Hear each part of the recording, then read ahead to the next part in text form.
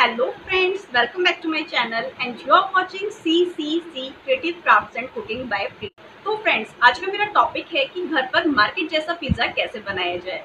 आज मैं आपको सिखाऊँगी under rupees hundred means hundred rupees के अंदर मार्केट जैसा पिज़्ज़ा जो कि आपको मार्केट में मिलता है फाइव या सिक्स हंड्रेड का इंक्लूडिंग टैक्स वो आप घर में बना सकते हैं। बिल्कुल मार्केट जैसा बहुत ही टेस्टी चीज़ी पिज़्ज़ा केवल रुपीज़ हंड्रेड में। तो पूरी इन्फॉर्मेशन शेयर करूँगी आप लोग के साथ कि आप कौन कौन से प्रोडक्ट्स यूज़ कीजिए, जिसकी वजह से आपका पिज़्ज़ा बिल्कुल मार्केट के जैसा बनेगा।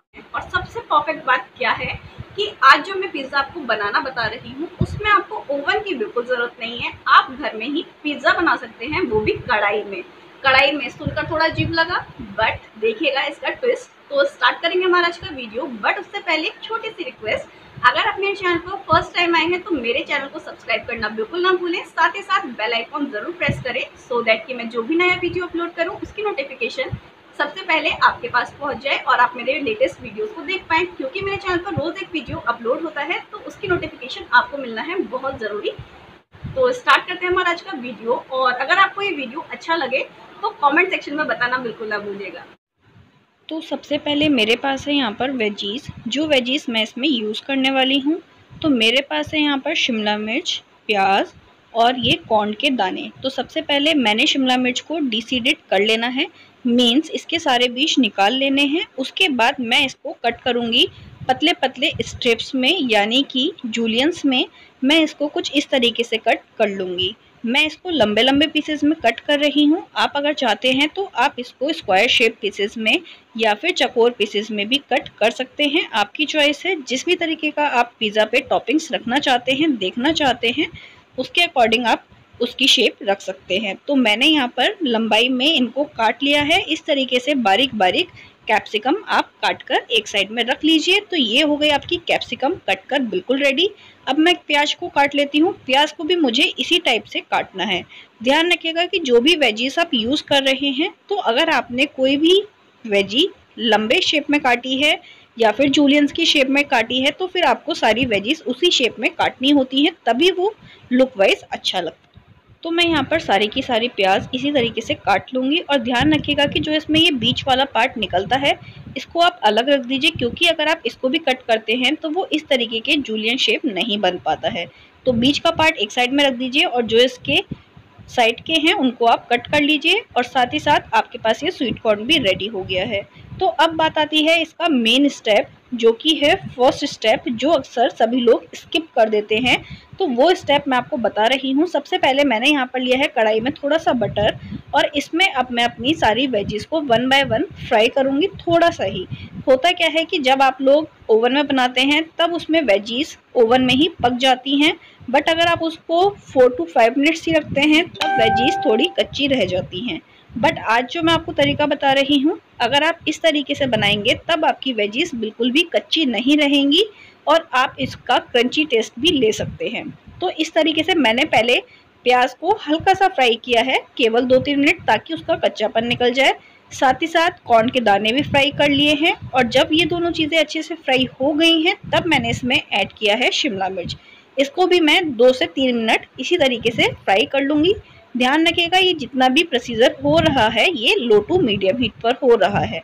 तो इस तरीके से जब ये अच्छे से फ्राई हो जाएँ, तब मुझे इसको पकाना होता है टू थ्री मिनट्स के लिए इस तरीके से ढककर, ताकि अच्छे से पक जाएँ। जब ये अच्छे से पक चुकी हैं, आप देख सकते हैं, काफ़ी इनमें क्रंची टेस्ट भी आ गया है और ये अच्छे से पक भी गई हैं। मीन्स हमको इनको बहुत ही एकदम पकाना नहीं है, बस हल्का सा इसको फ्राई करना है, ताकि ये खाएँ जब हम इसको पिज़्ज़ा में तो ये अच्छा सा टेस्ट दे। थोड़ा सा सॉल्ट भी ऐड कर दिया है ताकि जो टॉपिंग्स है हमारी पिज़्ज़ा की, वो थोड़ी सॉल्टी हो जाए। जब हम इसको पिज़्ज़ा पर अप्लाई करें तो ये हमको फीकी ना लगे।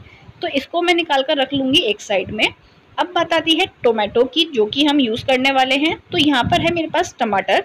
आपने ध्यान दिया होगा कि जो सब वेजीज मैंने फ्राई की हैं, उसमें टमाटर नहीं डाला है। तो आपको भी टमाटर नहीं डालना है।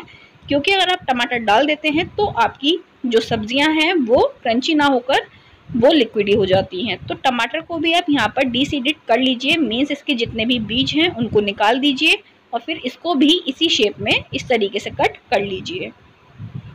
तो मैंने यहाँ पर टमाटर को भी इसी तरीके से कट कर लिया है। तो यहाँ पर मेरी टॉपिंग्स रेडी हो गई हैं। आप इसके अलावा भी कुछ भी टॉपिंग्स डाल सकते हैं लाइक पनीर एल्पेनो जो भी आपको अच्छा लगता है, वो आप डाल सकते हैं। तो यहाँ पर हो गई है टॉपिंग्स रेडी अब बात आती है कि हम ओवन का यूज़ नहीं कर रहे हैं, हम यूज़ कर रहे हैं कढ़ाई का। तो कढ़ाई में पहले मैंने थोड़ा सा सॉल्ट डाल दिया है। ये सॉल्ट इस कलर का इसलिए है क्योंकि मैं इसको पहले भी बेकिंग में यूज़ कर चुकी हूँ और थोड़ा सा सॉल्ट और ऐड कर दिया है क्योंकि थोड़ा सा सॉल्ट कम मुझे लग रहा था।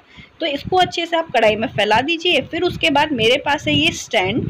इस स्टैंड को रखना है आपको इस कढ़ाई में। इसी के ऊपर रखकर हम अपने पिज़्ज़ा को पकाने वाले हैं और आप देखेंगे कि जो पिज़्ज़ा का बेस है वो बहुत ही क्रस्टी बनेगा, बहुत ही टेस्टी बनता है।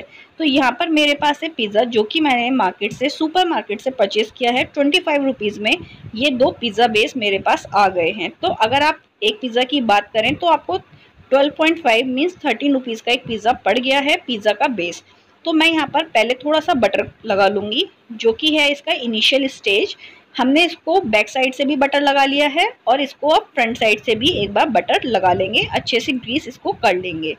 तो मैं यहाँ पर ब्रश की हेल्प से इसको ग्रीस कर रही हूँ. अक्सर लोग इसको भी स्किप कर देते हैं बट आपको इसी तरीके से ध्यान रखना है. तो अब मैं यहाँ पर यूज़ कर रही हूँ ये पिज़्ज़ा चीज़ जो कि है अमूल की. मोजरेला पिज़्ज़ा चीज़ का मैं यूज़ कर रही हूँ। सुपर स्टोर में आपको इजीली मिल जाता है। नाइन्टी थ्री रुपीज़ का आता है केवल। तो मैं यहाँ पर इसको करती हूँ अनपैक इसको निकाल देती हूँ और आपको दिखाती हूँ कि पिज़्ज़ा का जो मोजरेला चीज़ है, वो कुछ इस टाइप से आपको मार्केट में मिल जाता है। तो इस तरीके से ये है मोजरेला चीज़।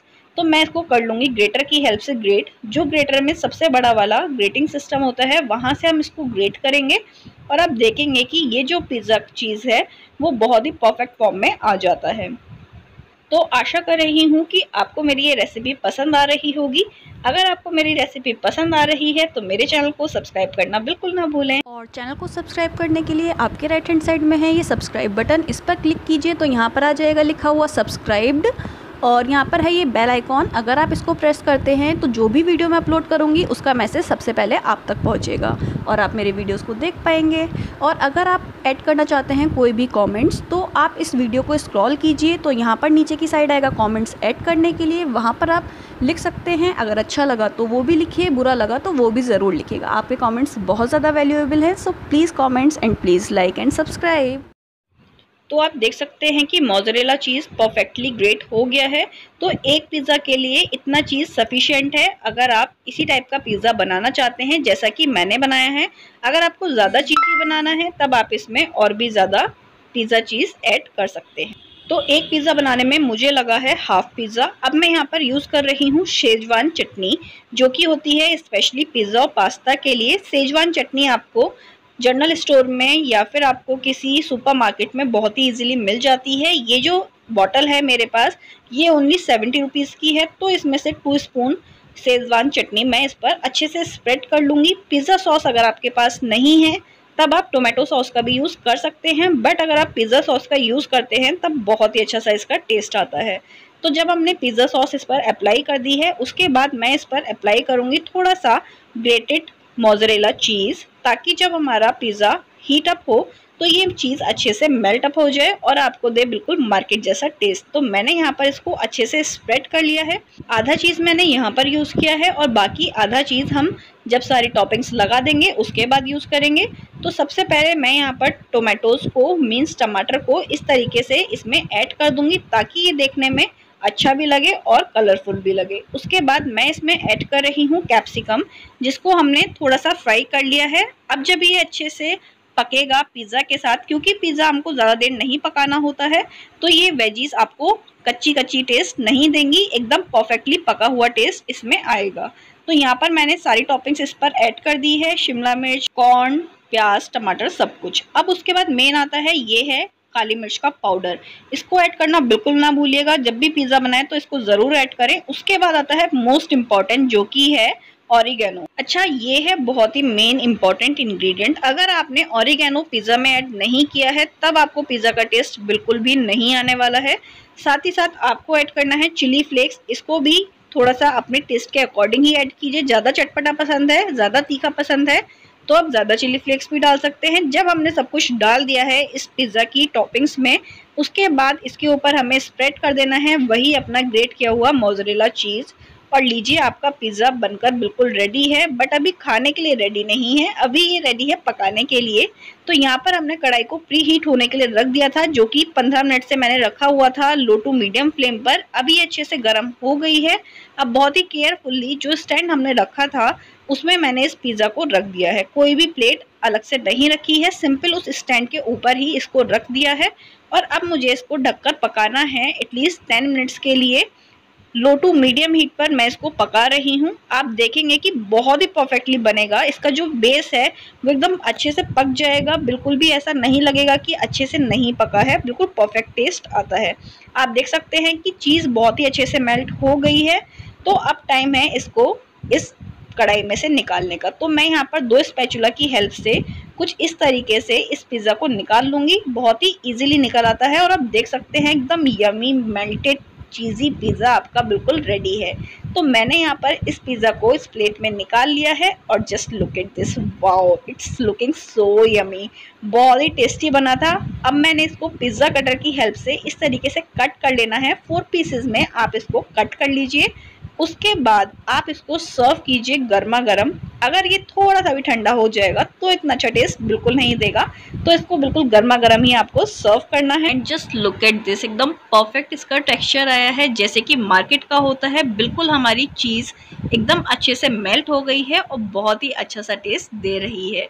देखने में बहुत ही यमी है, खाने में उससे भी ज़्यादा यमी है तो एक बार इस रेसिपी को ट्राई ज़रूर करें। और जब भी सर्व करें तो एक बार ऊपर से इसमें चिली फ्लेक्स और साथ ही साथ थोड़ा सा ऑरिगेनो और अच्छे से स्प्रिंकल कर दें, तभी देता है बहुत ही अच्छा सा टेस्ट अब आप इसको एंजॉय कर सकते हैं टोमेटो सॉस के साथ और बहुत ही चीज़ी क्रीमी टेस्टी पिज़्ज़ा आपका रेडी है।